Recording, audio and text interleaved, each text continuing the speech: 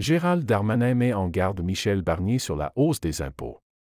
Lors de sa rentrée politique à Tourcoing ce dimanche 29 septembre 2024, Gérald Darmanin a lancé une mise en garde à Michel Barnier, le Premier ministre actuel.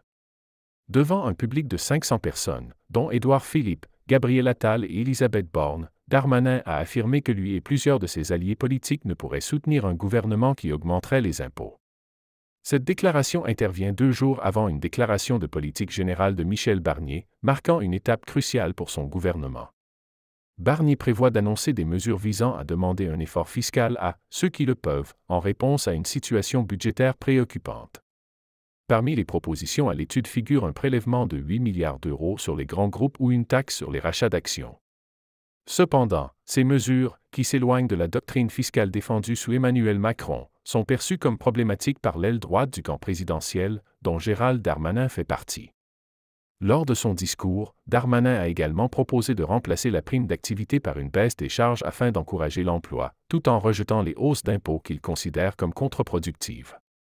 Cette rentrée politique confirme l'ambition de Darmanin de rester influe dans le débat public, notamment à travers la création d'un nouveau cercle de réflexion politique, baptisé Populaire.